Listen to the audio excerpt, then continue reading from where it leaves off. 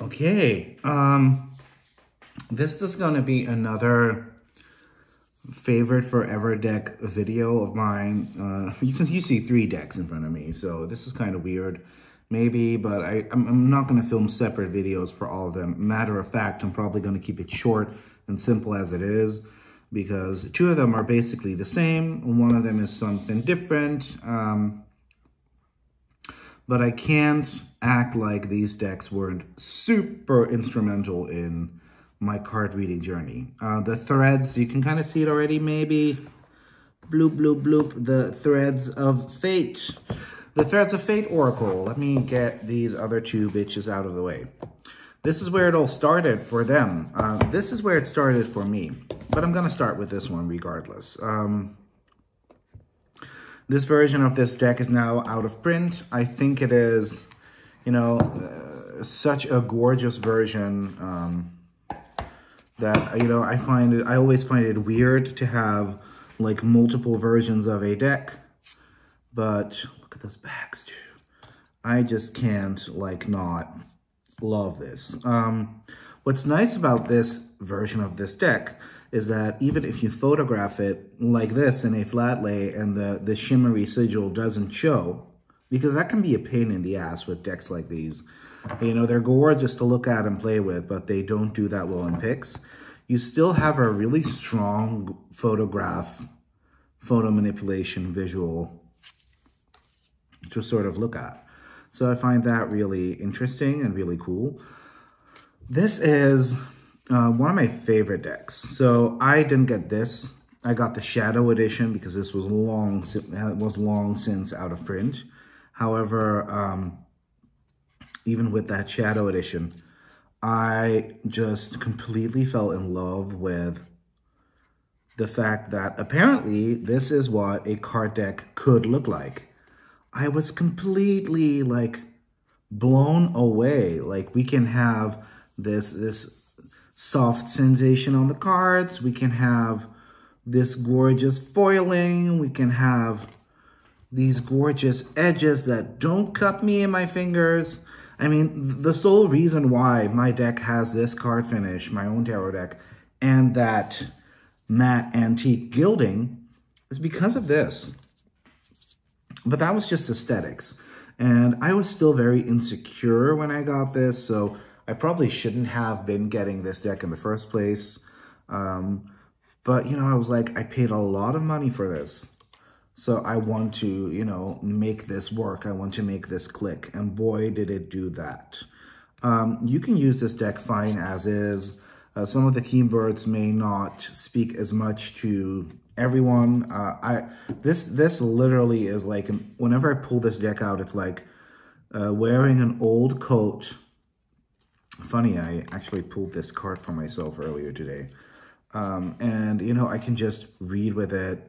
I actually, like, would probably... Obviously, I would bring my own tarot deck, but I would probably take either one, I don't care, either one of the Threads of Fate oracles if I could only have one deck out of my entire collection. Um, you know, it, it is a, a great deck to just use straight up out of the box without tuning into any of the sigil work, photograph work, keyword work, guidebook. Uh, when you do open up to that guidebook, it becomes even more glorious because in that guidebook, you will find lovely guidance on, um, you know, for all, there are like 22 archetypal cards that kind of have a major arcana vibe um, that basically just are the major arcana. Those don't have what I'm about to say, but um, most of the other cards are sort of divided by suits. And then they, those have, um, so we get water, fire, earth. So it's sort of tarot structured a little bit, but not in a way where it feels lazy or annoying or dumb. Uh, so we get earth, fire, water, air, and every earth, fire, water, air card gets a plant, an animal, and a crystal that you can work with next to superbly written guidance. This is one of the sigils that was changed for the, or one of the line works that was changed for the subsequent editions. And I find that I prefer a lot of the line work in here, but I think there was sort of a budget issue where sometimes the line work was black and sometimes it was gold. It's not a misprint, that's just the way it was. But I just really, really, really, like, I can't, let me just, let me just try to show you because a lot of people, um, especially the, the, the sort of crowd that is more into the artsy, folksy, shamanic side of things. For example, Martin. I know Martin won't care um, uh, if I if I talk about him like this because he very much loves his folksy decks. And uh, he's not really like this, but he has something against most of these gold foil decks because very often it is style over substance. Um, which we'll get to in a minute. But for some reason with this deck, there's so much substance. And I wish more people will be open up to that. Um, for example, this card, Take Risk. Look, we get this gorgeous imagery of this goat atop this mountain. Like, um, take fucking risks. Come on, don't be a don't be a dumb ass bitch. Take fucking risks. Get out there into the world. It's very direct. Um, but even for a more archetypal card like like this one, the Warrior, you know, look at that fabulous, fabulous sword. Uh, you know, you got to embody that like fiery energy, you know, and it has gorgeous keywords. Or even this sort of ridiculous cat. Look, can you see it? Yes. You know, reclaim, reclaim that fire within. Take that fucking risk. Be that warrior really great. Like, this deck just speaks my language. I don't know why, uh, but what I was going for was a lot of these people that are more into these sort of hand-drawn, um, you know, non-gold foil decks. Some of them will say there is no substance here. And I beg to differ. So that was the, the, the first edition. Um, the edition that came out after that was the Shadow Edition which I was able to buy from uh, House of Form Lab in the Netherlands. Uh, you can probably still see my reading from this morning. Look, it's like way darker, and you know, overall, this is a more sleek package. A guidebook was made so it would fit into a smaller box, um, you know, and it, it, I have to say, like, even the sigil line work is a little bit more impressive here. So that's pretty cool. Uh, the annoying thing is, their stuff is like expensive, you know, and it has always been expensive, but is getting even more and more expensive nowadays. And, you know, it's, it's that's completely up to them. That's completely fine. You know, they can do whatever the hell they want. Um, but they used to have like some wholesalers, but they sort of stopped doing that because they don't want that anymore. Uh-uh. We don't want that. We want to like do everything ourselves. So if I want anything by them now, uh, I have to order it all the way from the United States, and it basically just means that I'm fucked because uh, I'll have to pay like 20 to 30 dollars on top of the already pretty steep retail price. So yeah, it's just something that I um, I'm not going to do anymore, but I am still really enjoying this deck and uh, especially this shadowy version too.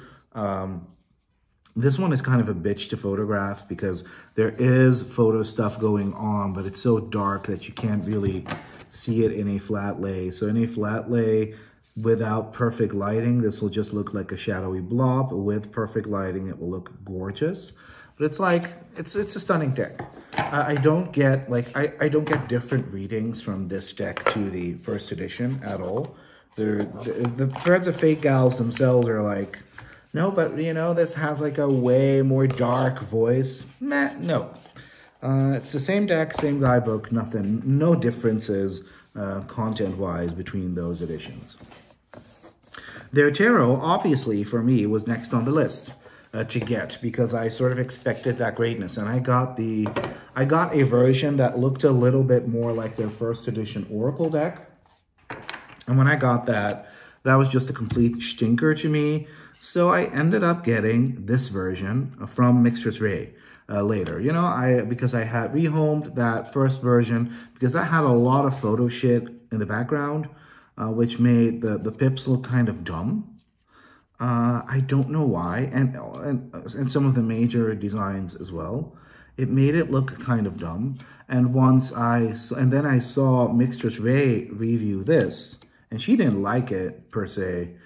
And I saw like, wow, in this edition where it's just the line work on a black background, all of a sudden I do like these cards and these designs. So I have to say though, this is really like a favorite tarot deck. I love it. I really do. I really do like this a lot. Uh, it, it's, it, it doesn't compare in greatness to the Oracle. Oracle's Oracle.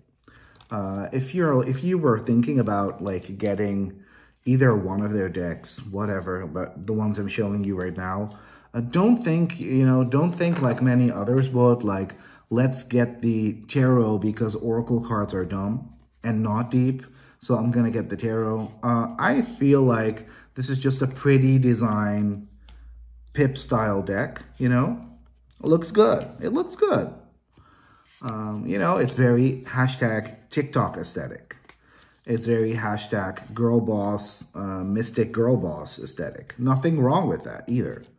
Um, it's just that, um, you know, the, the Oracle has way more to offer. You're going to get a lot more out of it. And it's kind of structured like a tarot deck anyway. So, uh, but I have to say, once again, I'm, I'm one of those people that hates, hates, hates, hates different editions of decks. And I have to say, the difference between this and the more like colorful photo-y background version of this, the, the difference between those two is like day and night. I do love, I do love this. I, I appreciate also the effort to make the cards gender neutral. I don't really care about that shit, but I know a lot of people do. Um, and I just, I got this from for free from Mixtress Ray. Uh, wow. Um, you know, that's so amazing. I'm going to treat her back one day. Uh, but, you know, I just, I, I like, I like this a lot. I love the Seeker of Wands. I love this. I love him. I want that hat. Um, you know, like it's, it's almost like the designs come to life a little bit more, literally have a little bit more depth, even though this is less than the edition I originally had. It's just that, you know, let me show you some, some of the things that do like, like this is super cute, like really ornate design on the hat and then the little droplets down there and it gives dimension. This is very much, you know, very blocky, very big blocks of, um, what am I doing here? Very big blocks of foil. So it automatically looks a little bit, I don't know, weird and dumb. Um, but overall, really, really like this. Wanted to show it. Um, is it necessarily part of my like favorite, favorite decks ever? No, but I do really like this tarot deck now, whereas I really used to hate it. I actually like, how dumb. I even sent this to them. Uh, I, I literally said, I really expected more from your tarot deck. And they were like, well, you know, they were actually good sports about it. And they were like, that's fine. Uh, you know, uh, everyone can like what they like. Uh, what I kind of disagree with, though, is that, you know, there are lots of people out there willing to do wholesale for them and they kind of want to keep everything in their own pocket, which, you know, you are sort of alienating every other continent except for the, the one you're living on. Uh, but maybe that's kind of what they want. It's their business. It's their decision to make. But really good quality decks. Really good. I'm not really sure about their like latest efforts which have been more text-based or lenticular. I don't care about that shit at all. I almost backed the Kickstarter, but then I backed out. But to me, like, this is where it's at. Um, thank you very much for watching. Uh, another, like, main, like, staple in my collection, uh, the Oracle and a little bit of the Tarot. Anyways, thanks for watching, and bye, bitches.